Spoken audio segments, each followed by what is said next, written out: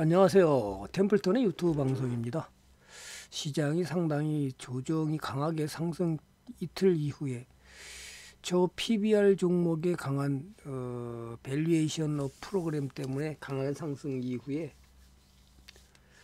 아직도 시장은 좋질 않죠. 네. 정배열은 아직 만들지 못하고 있고요. 음, 어쨌든 조정 이후에 강한 상승은 왔지만 이틀 또 조정을 받으면서 음, 시장을 한번 살펴보겠습니다. 오늘도 그래도 외인들은 계속해서 매수를 가담하고 있고요. 역시 연기금하고 금융투자가 계속해서 매도하면서 시장을 조정 국면에서 벗어나지 못하고 있다. 이렇게 보시면 맞을 겁니다. 지금 일별 현황도 봐도 어, 개인도 팔고 있고요. 또 기관 같은 경우에는 지금 이틀째 거의 1조를 가까이 팔았는데요. 음, 역시 외인들이 지금 계속해서 매수를 가담하고 있습니다. 지금 거의 이렇게 되면 한 6조 되나요? 1조. 그 다음에 2조, 3조, 4조, 5조, 한 5조 한 5천억이 넘나? 대충 그냥 계산해 봤는데 그 정도로 외인들이 강한 매수를 가담에도 불구하고 기관과 개인들의 매도로 인해서 시장은 그렇게 활발하지 못하다. 다만 오늘도 아침에는 보시면 5분봉을 보면 아침에 어, 코스피가 음,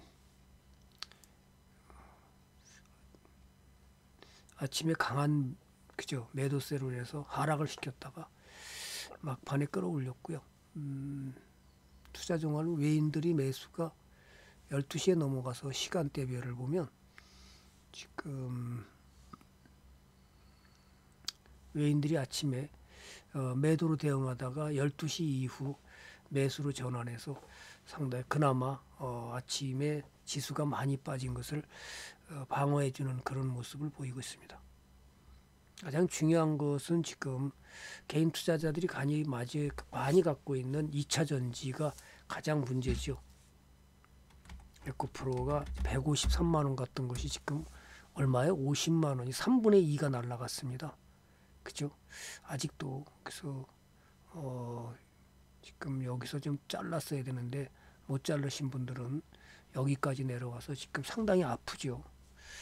그래서 음 만약에 더 무너져 내려간다 그러면 앞으로도 지금 아직 리튬 가격이 상승으로 전환하긴 했는데 아직까지 좀 뭔가 확실하게 보이질 않고요. 그래서 2차 전지는 다 어렵다.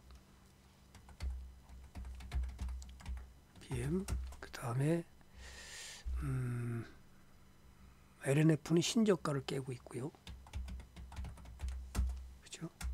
LNF는 신저가를 거의 직전까지 가 있고요. 포스코, 퓨처엠.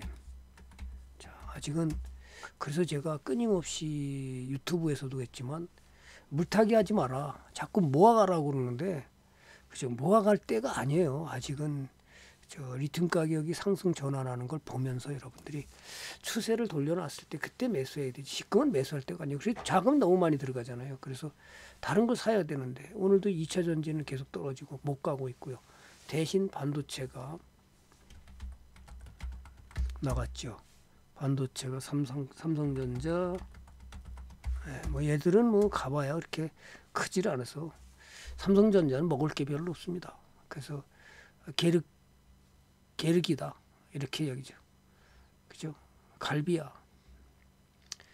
닭게에다가 그죠? 갈비살이 뭐 있나요, 닭이? 그래서 계륵이다. 먹을 게 없습니다. 그러니까 여기 너무 들어가려고 하지 말고요. 제가 끊임없이 소부장사라고 그랬잖아요. 그죠? 그래서 여러분들이 다 갖고 있는 한미 반도체 지난번에 하이닉스에다가 TC 본도 장비를 얼마요? 안 빠지고 있죠. DC 정비 반도를 860억도 수주하면서 자, 아직도 살아 있다. 추세를 무너뜨릴 때까지는 들고 가자. 계속 얘기를 했는데 여기서 흔들려서 팔아버린 사람 많을 거예요. 아이고야 이건 뭐야 위험해 위험해 그러다가 또 이번에 또 860억 계약하면서 또 반등해 주는데요. 어쨌든 소부장 기업을 갖고 가야 되고요.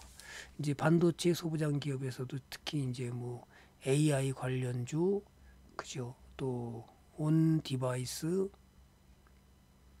on device 아이고 device AI 관련주 그 다음에 또 CXL 관련주 그 다음에 어, HBM 관련주 이런 것들이 지금 그래도 아직 버티고 있다. 이제 버티고 있습니다. 그래서 급반등했다가 다시 조정받고 나가는 그런 모습을 보여서 N자 파동으로 계속 나갈지는 여러분이 꾸준히 살펴보고 그 종목이 어떤 나갈지 뭐 한미 반도체는 A, HBM과 관련 기업이죠. 이래서 여러분들이 어떻게. 그 다음에 이제 on device AI 관련주는 대체적인 조가 어, 제주 반도체 제주 반도체가 상승을 계속하다가 조정받고 다시 상승하는 모습을 보여주고 있는데요. 이런 것들을 잘 보고요. 어떤 종목을 사야 될지 여러분들이 그 그죠? 지금은 2차 전지는 때가 아닙니다. 아직 기다리셔야 되고요. 반도체는 지금도 예, 다시 조정을 받고 며칠간의 조정을 받고 다시 반등하는 모습을 보여주니까 이런 걸 보고요. 요즘에 이제 어, 올라갔다가 좀 조정을 받았는데요. 대체적으로 저 PBR 종목에 자사주 많은 기업들이 자사주를 소각하는 그런 주주환원 정책을 벌리면서 어, 성장성이 의심되는 것은 안 되는 거고요. 삼성물산도 자사주를 어, 그죠 소각시키는 문제. 그 다음에 하나금융지주도 그 끊임없이 자사주를 매입, 매입해서 예 어, 음, 소각시키는 그런 기업들이 지금 이제 반등을 해주고 있는 건데요.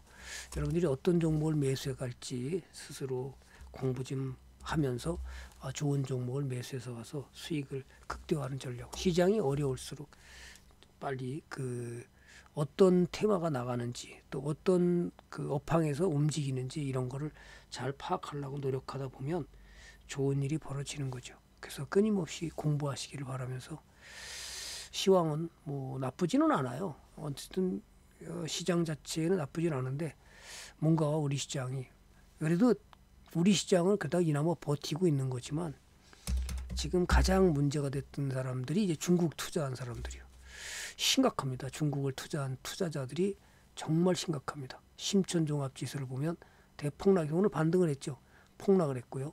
그 다음에 또 중국 상해 지수 역시 폭락했다 오늘 강력 반등했는데요. 어쨌든 굉장히 많이 떨어져서 아마 굉장히 아플 거예요. 그 다음에 또 하나 요즘에 이제 ELS 절대 ELS 하지 말라고 그러는데 지금 가장 문제되는 게 LG 화학. LG 화학이 100만 원대 ELS 들어간 사람은 지금 얼마 손실일까요? 지금 60% 거의 100만 원대에서 60% 원금 손실이 되기 때문에 어, 60% 정도의 원금 손실 ELS 투자했다가 지금 땅을 치고 후회하는 상황이 벌어지고 있다. 제발 좀 그런 거 금융상품 모르는 거는 투자하지 말자. 그래서 ELS, ELW, 그 다음에 뭐 ETF 이런 건 여러분 투자하면 안 돼요. 단기용으로 보면 몰라도 중장기용으로는 기업이 좋은 기업이 많은데 굳이 제가 유튜브에서도 뭐라 그랬습니까? 지주사도 웬만하면 사지 말라는데 지금 무슨 일이 벌어졌죠? 저 PBR 지주사들에 대한 지주사 홀딩스들이 왜 올라갑니까? 이게 바로 value 프로그램 어, 저 value 프로그램 업그레이드가 이게 되면서 지금 나가는 거죠. 그 전까지는 뭐 했습니까? 형편없었습니다. 이런 걸 보면서 여러분이 올바른 투자를 가서 정식으로 갔으면 좋겠고요. 그 다음에 또 하나가 이제 어, 자본시장법 개정안이 통과되면서 정식 등록된 투자 자문업자 외에는 주식 리딩방이 이제 불가능합니다. 아, 이런 거를 어, 참고로 해서 보시고요. 음, 저는 뭐 당연히 뭐 등록된 사람이고요. 어, 불법으로 하는 사람은 아니니까 그런 것들이 이제 개정이 돼서 이제 국무회의 통과하고 그 다음에 공식 발표가 되면 몇 개월 걸리겠죠. 이런 것들이 음, 시행 때까지는 자 중요한 겁니다. 여러분들이 어, 진짜 제대로 된 그냥 유튜브에서 제대로 등록도 안 된 사람들이 막 그 하는 거에 현혹돼서 사실인 것처럼 물어고 돈을 갖다 입금시키면 뭐 그죠?